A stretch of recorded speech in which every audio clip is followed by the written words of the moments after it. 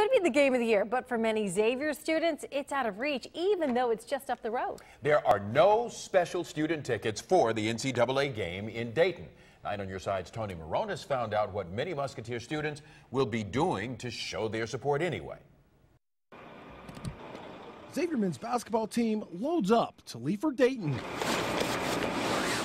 But the team's fans may get left behind. Actually hosting a viewing party tomorrow um, for the students um, here at Gallagher in this uh, stage right here. Thomas Edney is part of Extreme Fan here on campus. They'll have pizza and a huge 24-foot screen to watch the game, all because the school wasn't allotted any tickets. Gina Schneider's not a student and got her tickets online. This morning I was listening to the radio. I heard Chris Mack say we need our Xavier fans to follow us to Dayton.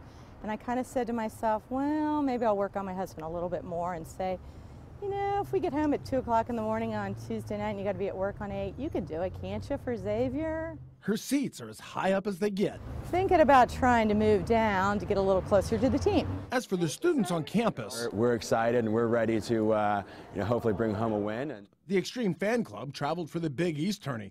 That's how they looked in New York. Freshman Leah Jink said body paint is optional tomorrow. It's the place to be. It's it's definitely I know it's not a gym or the arena, but it definitely feels like it's still a big fan section. This viewing party will be available on campus to students as long as the Muskies are in the tourney. The fact that it's only a 45 minute drive away is going to entice a lot of people in the Cincinnati Xavier community to kind of make the trip up there.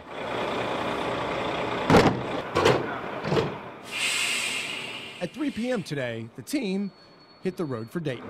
Tony Moronis, 9 on your side, Xavier University.